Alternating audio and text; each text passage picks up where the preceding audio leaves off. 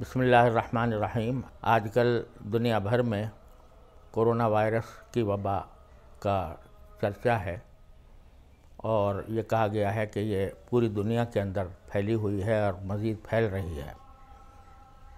اس کو روکنے کے لیے اور اس سے بچنے کے لیے احتیاطی تدابیر اختیار کرنا بہت ضروری ہے اور بعض حضرات یہ سمجھتے ہیں کہ یہ تدابیر اختیار کرنے میں توکل کے خلاف ورزی ہوتی ہے۔ یہ بات صحیح نہیں ہے۔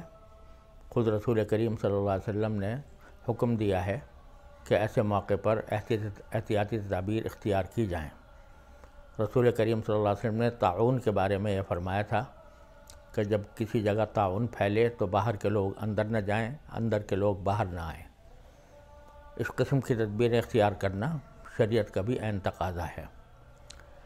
اس لیے اس موضوع پر جو ہماری حکومت کی طرف سے، محکمہ صحت کی طرف سے جو ہدایات دی جا رہی ہیں، ان ہدایات کی پابندی نہ صرف یہ کہ مناسب ہے، بلکہ شرعی اعتبار سے بھی ضروری ہے۔ کیونکہ اگر حاکم وقت کسی مصلحت کی خاطر کسی بات کا حکم دے، تو سب پر اس کی تعمیل اور اس کی پابندی لازمی ہو جاتی ہے۔ خاص طور سے جہاں پر بڑے اجتماعات ہوں، ان کے اندر اس وائرس کے پھیلنے کا خطرہ زیادہ رہتا ہے۔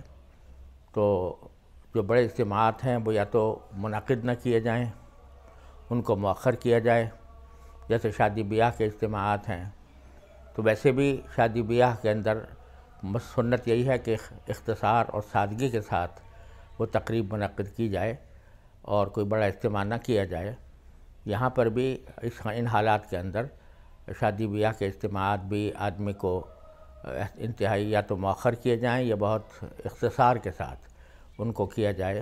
جمعہ اور جماعتوں کے اندر بھی اس بات کا خیال رکھا جائے کہ جو سنتیں ہیں وہ آدمی گھر میں پڑھ کر آئے اور نماز کے بعد کی جو سنتیں ہوتی ہیں وہ بھی گھر میں جا کر پڑھے، مسجد میں نہ پڑھے۔